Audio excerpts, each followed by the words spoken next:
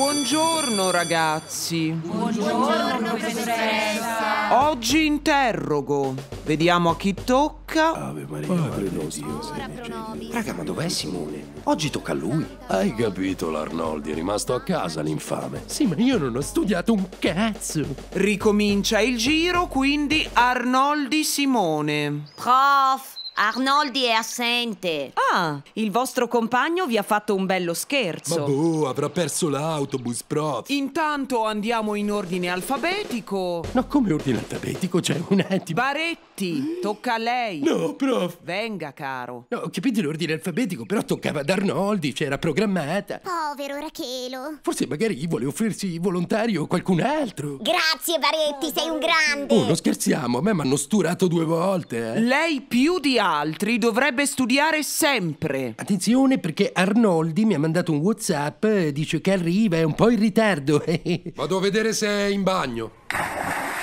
Arnoldi, oh, ma ci sei, pezzo di merda. Ma cosa gridi? Arnoldi non c'è, avrà bigiato. Si starà fumando le canne con i suoi amici. Bigi anche tu, no? Ma va, io sono Zamberletti, appena ricominciato il giro. Per tre mesi non studio niente.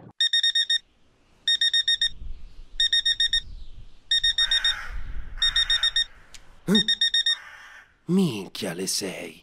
Non mi sono mai alzato così presto in vita mia. Guarda che cielo terzo. Ma senti che silenzio.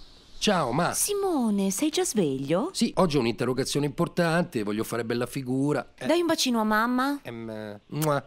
Vado. Ciao, ma. Voglio arrivare un po' in anticipo, così mi bevo un buon caffè, ripasso tutto con calma. Eh, Arnoldi. Ciao ragazzi, cosa ci fate già in giro a quest'ora? Non siamo ancora andati a letto.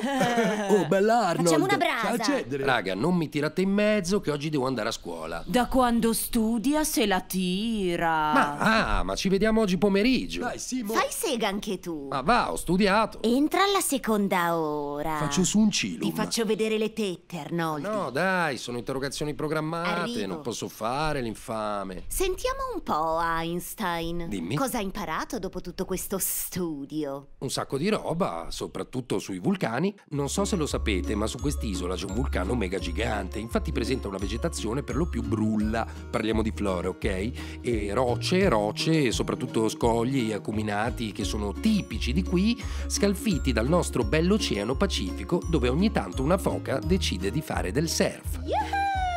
Cosa c'entra la foca? E questa parte l'ho inventata. Però ho scoperto che qua sotto, nel cuore del vulcano, c'è una situazione non bella, ragazzi. Tutta la pilli, fuoco, c'è roba, roba che brucia, un sacco di magma a rombi, e giochi di luce, tutto zigzag. Ed è un pericolo potenziale per tutti noi.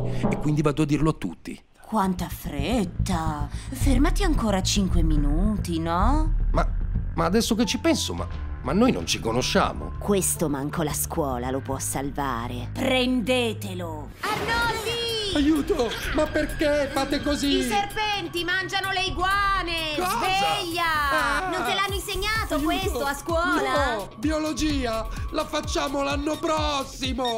Ah!